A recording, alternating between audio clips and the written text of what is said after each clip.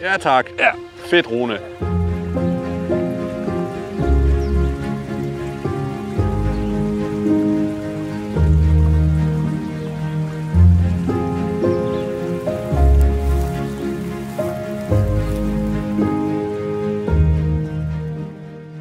Søren, øh, kan du huske sidste år, da vi lavede den her challenge-video? Ja, der hvor du fik den der mega fine bækørred. Ja, lige nøjagtigt. Ja.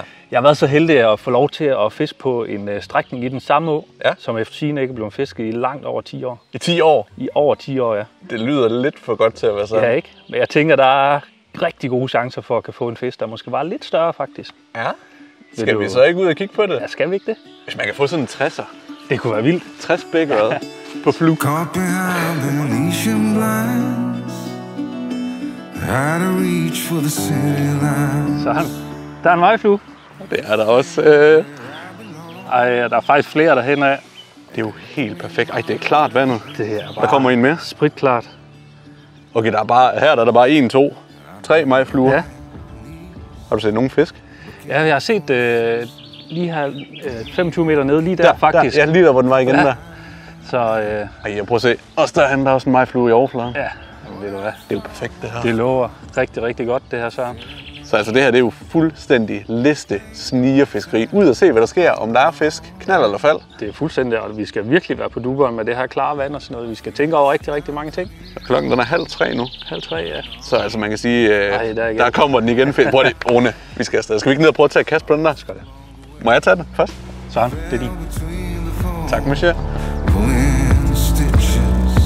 Time to go. Hvert år i månederne maj og juni kan man alt efter forholdene opleve noget fantastisk tørfluefiskeri efter øret. Majfluernes karakteristiske dans, efterfulgt af deres æglægning på overfladen af vandet, udgør et sandt ædegilde for fiskene i åen. Og der skulle da heller ikke gå lang tid før, at vi havde den første bækkerød på krogen. Ej, den er tyk. Ej, den er bare gudsmuk. Se, Ej. en lille fin en her. Og prøv at se de røde pletter her, ikke? Altså, det er bare bækøret, når det er bedst. Skal vi så ikke sige, at vi ses forhåbentlig igen om nogle år, Søren? Ej, når den der lige er øh, 50 cm og i den stand der. Ja. Uh. Prøv at første fiskrune. Så er vi i gang.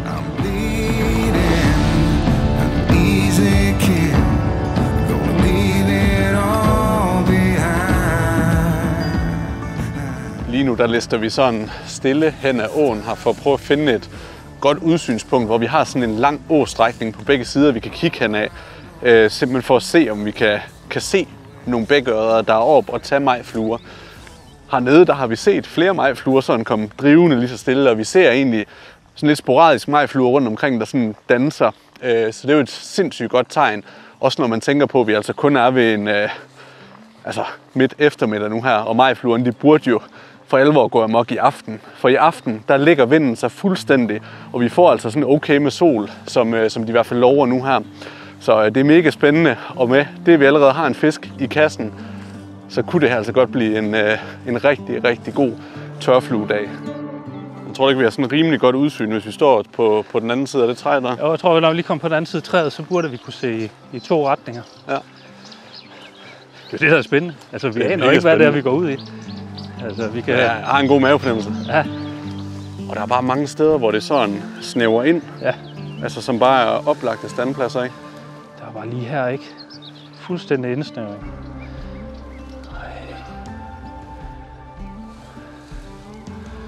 Nu ligger der en majflue på vandet lige her.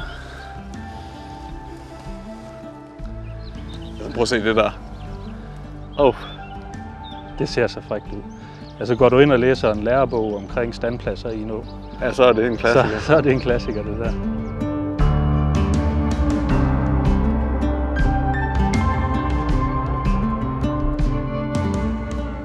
Så, Ja, det er spændende det der. nu, ja, nu har vi jo siddet i lang tid og bare observeret, men nu har vi endelig set en, en fisk igen. Og den ser faktisk lidt mere fornuftig ud end den, den første. Nu er det jo min tur. Det er faktisk din tur. Ja, Vi har jo faktisk set to fisk hernede. ja. Lige nede foran og stået og kigget lidt på dem. Ja. Og den første fisk, det var en lille fisk. Det var en lille fisk her. Og den næste fisk, det var 80 plus. Det var, Nej, den var, den var mere fornuftig. det var i hvert fald større end, øh, end den, du fik umiddelbart. Så. Ja, Men øh, det er lidt øh, tricky kast med tre bagved her, en sivtot og sådan noget, der lige er lidt i vejen. Men, øh, vi ser, om vi ikke får til at lykkes. Den tager ikke så steady, men øh, Jeg prøver lige lidt ned bag dig her. ja.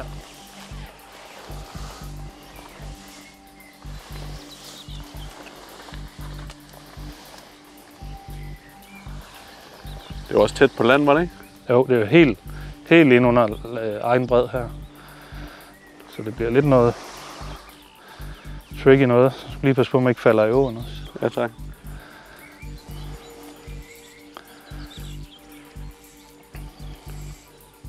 Vil du vente på, at den kommer op igen, eller? Jeg tror simpelthen bare ikke, der er. Der er bare ikke nok fluer. Nej, så jeg, jeg tror egentlig, den tager, hvad der kommer forbi. Men øh, det kunne være fedt lige at se den igen, men ellers jeg tror bare, at jeg prøver at tage nogle, Ja, nogle så, drev så henover. tæt på øh, start over fra, eller nede fra op, Ja. eller hvad? Ja, lige præcis. Altid kort først. Og så bare så tæt på som muligt. Ja, ja, ja. Den burde være perfekt.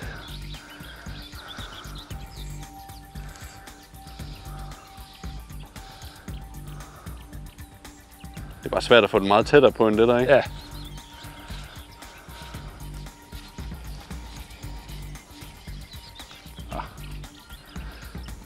Der er ikke meget vind, men der er en lidt tricky sidevind her. Men den tog også der, altså lige efter den var oppe at ringe første gang, der tog den midt ud i åen. Ja.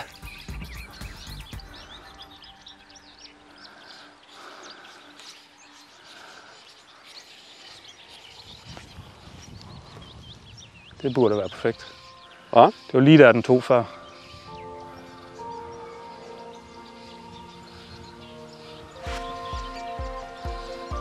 Det ligner eddermame godt de fluer, der Ja, er kommet flydende.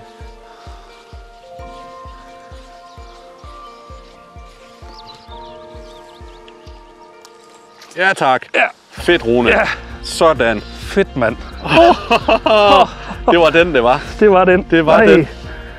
Ej, den var helt ind under.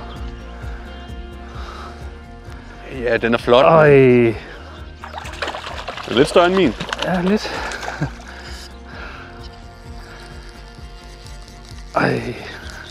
Ej. Søren. Det er så fedt, det der. Fuck, hvor godt. Ej, så i gang. Der er ret meget siv hernede, så det er også sådan lige med at prøve at holde den ud af det. Ej, hvor er det klasse. Det er så godt. Jeg skal bare i nettet. Ja. Ej, hvor er det godt. Anden fisk i dag. Anden fisk i dag ved højlysdag. Midt på eftermiddagen. Ej, mand. Ej, det er ikke en uh, kæmpe, men hold op, hvor er den flot. Ej, hvor er det tykke. Det er klasse, det der Rune. Lidt større end min er den altså. Er lidt større, men det er godt nok ikke, uh, det er godt nok ikke meget. Men, Men i men samme gode kondition. Ja. de har altså bare guffet mig i fluer, dem her. Og i et stykke tid nok også. Ja. Flot farver, mand.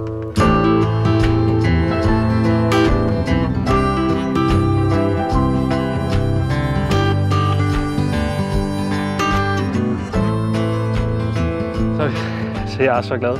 Der er sporadiske majflueklækninger, og vi ser ikke ret meget i det hele taget, men altså forhåbningerne er store, og de chancer, vi har fået, har vi udnyttet.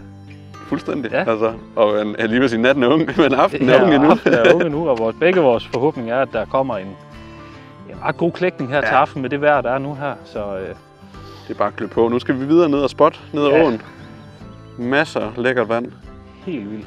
Det bliver skide godt, og så skal vi se, om vi ikke kan få fundet den der virkelige trofæfisk. Ja, sådan en øh, plus 50, gerne 60. Ja, det kunne være vildt. Og de, og de er her. Altså, de er her. Det skal de være. Ja. Øh, så øh, vi må ud og lede. Ud det.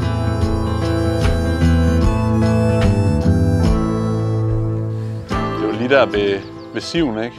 Jeg ser det faktisk som den næste sivtue, sådan lige bagved. Helt derop? Yes. Og så ind i indhakket. Ja, det er faktisk den indsnævring, der er der.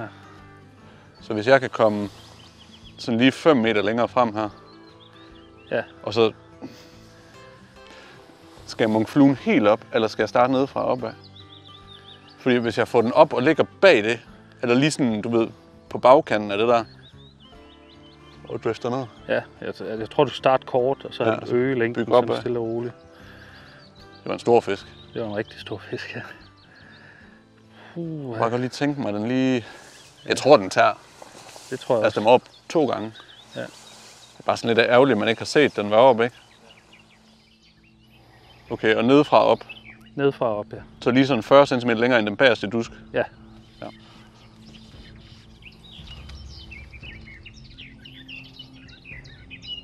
Lidt længere op. Lidt længere op, lidt mere ud i midten, tror jeg, så der kommer lidt mere speed på Med ud i midt. fluen. Ja, Ja. så får du ikke så meget træk i limen. Måske lige langt nok over til egen. Det var jo der omkring, ikke? Jo. Lidt, lidt mere ud. Ja, ude midt i. Ja. Ja, altså jeg synes egentlig, dit kastlag er helt perfekt. Jamen jeg tror simpelthen, det er fordi, der ikke er gang nok i, klækningen endnu. ja. Det er så sporadisk. Så den er lige oppe og tage en to-tre gange ind imellem, og så dør det jo fuldstændig ud. Men det er jo som vi har set resten af dagen. Ja. Spørgsmålet er, om inden du vader længere op og potentielt skræmmer den, om vi lige skal give den et par minutters pause, og så lige se, om den viser sig selv. Ja. Jeg prøver lige et kast her. Ja. Bare lige se, om jeg kan få den derop. Nej.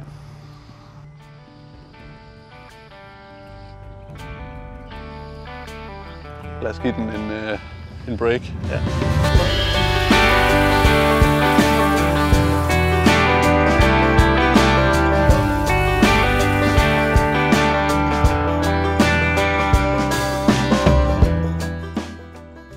Fået lidt mad, og nu er vi kommet tilbage til åen.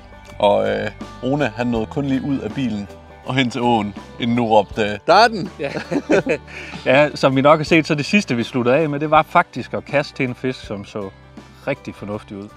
Ja. Øh, men den vil ikke mere. Nej, Men nu har den fået fred i en, øh, en times tid, Ja. og øh, nu står den ikke og ringer sådan synderligt stedigt, men øh, trods alt mere ofte, end den gjorde før. Altså, den var lige op en, hvad, en 3-4 gange her Ja. før. Så øh, jeg tænker, nu skal den øh, have chancen, og den, Ja. ser, øh, den ser lovende ud. Den ser god ud, den flytter ja. noget vand dernede. Så nu er planen egentlig, at vi skal op og kaste på den herop, eller jeg skal op og kaste på den. Mhm. Og øhm, så arbejder vi os lige så stille op imod den, for ikke at skræmme den. Ja. Fordi det, det bliver virkelig noget snigerfiskeri. Altså vinden har lagt sig fuldstændig her. Øhm, så, så altså, bare man laver en lille smule revage på brinken, så laver det trykbølger ud i åen, Ja. og det kan potentielt skræmme fiskene. Ja, fuldstændig. Så Mhm. det er bare stille og roligt opad, og så øh, udnytte den tid, vi har tilbage. Mm, fuldstændig. Så øhm, hvad siger klokken? Den siger øh, 2039. 20.39, og det bliver vel mørkt ved en halv 11 Der er halv, halvanden time til solnedgang. Og så øh, to timer i alt godt og vel. Nu gør vi det. Lad os gøre det. Jagten på en stor fisk. Nu står vi lige sådan og venter på, at fisken måske viser sig igen. Fordi der har været lidt forskelligt deroppe. Der har været en ret god fisk lidt længere over bag, og så da vi kom tilbage, har den egentlig rykket sig lidt ned, eller det er en anden fisk. Så det vi gerne vil nu er at kunne placere fluen så tæt på der, hvor den er oppe at tage, og sørge for, at det er den store fisk, vi præsenterer fluen til. Men øh, det kommer så meget sporadisk, at den lige er oppe og, og haps noget. Så øh, nu venter vi lige og ser, og når den så igen viser sig, så ved vi præcis, hvor vi skal lægge fluen.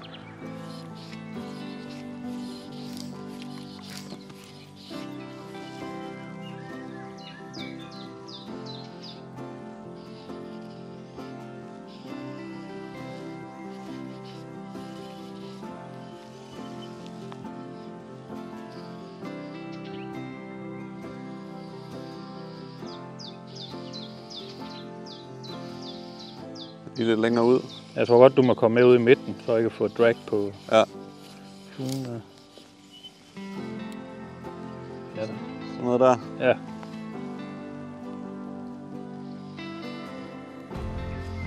Og så bare arbejde mig op derfra. ja.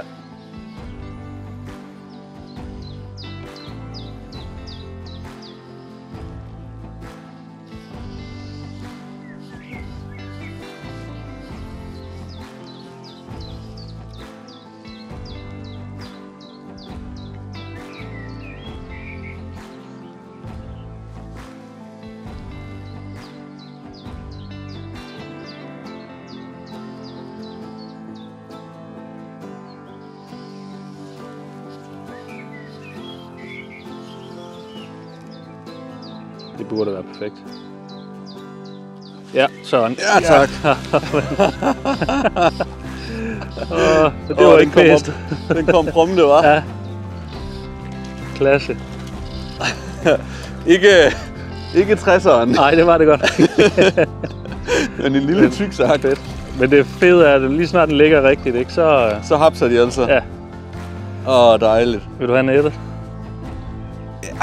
Er det en håndlanding, det her? Du må godt få nettet her. Okay, tak. Åh, oh, dejligt alligevel. Det er ikke... Holder jeg ved at på hovedet. Det er ikke det der monster, Nej. men den sidder lige så fint. En lille smule antiklimaks, når man øh, var opsat på, at der stod en stor fisk derhenne. Men man skal altså heller ikke klage over en, øh, en lille, fin, ui, og meget livlig bækkeøret her. Så er den i hvert fald fri, sad perfekt kroget i overmunden. Men prøv at se. Altså, de her små fisk, de er så sindssygt god stand. Og bare helt fuldstændig intakte.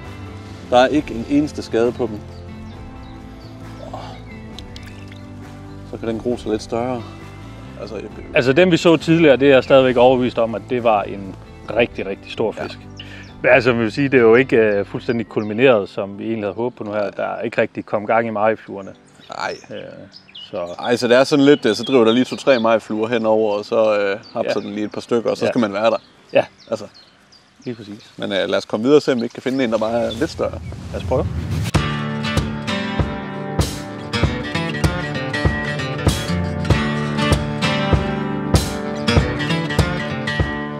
Sådan lidt ude i nu, at vi er ved at have det aller sidste lys for i dag. Og øh, vi går sådan stadigvæk og scouter en lille smule, og vi har faktisk ikke set fisk i ret lang tid. Og det, der også er sket her ved åen, det er jo, at det bliver noget køligere. Majfluerne, de er stort set væk lige nu. Så det er virkelig minimalt, hvad der egentlig er af insekter hernede. Det er kun lige en gang imellem, der kommer lidt majfluer rundt omkring. Så i takt med lyset, det sådan falder på nu her, der er vi på listefod rundt langs åen, i håb om lige at kunne få en sidste fisk, og gerne en med en lille smule størrelse på. Men øh, det skal også snart til at være, fordi klokken den tigger altså. Og øh, hvis ikke snart der sker noget, så falder mørket helt på, og så er vores chance stort set forbi.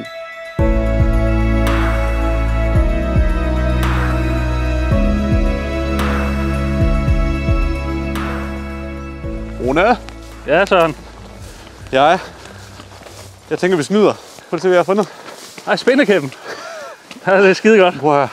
Der har ikke været en eneste majflue de sidste, hvad, altså, de sidste to timer. Jamen, der er fuldstændig dødt. Fuldstændig. Og vi har været 10 minutters lys tilbage, og jeg tænker bare, hvis vi skal have en fisk her på falderæbet, ja. så bliver det altså med en lille mapspænder. ja, det, jeg tror, det er den bedste chance for nu Altså, af. vi har ikke set nogen som helst fisk op. Det Nej. er helt... Øh...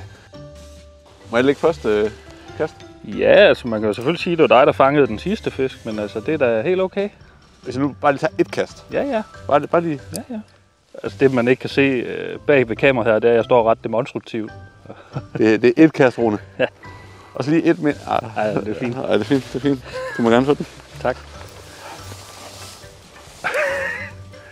Du havde flere spindere med, ikke også?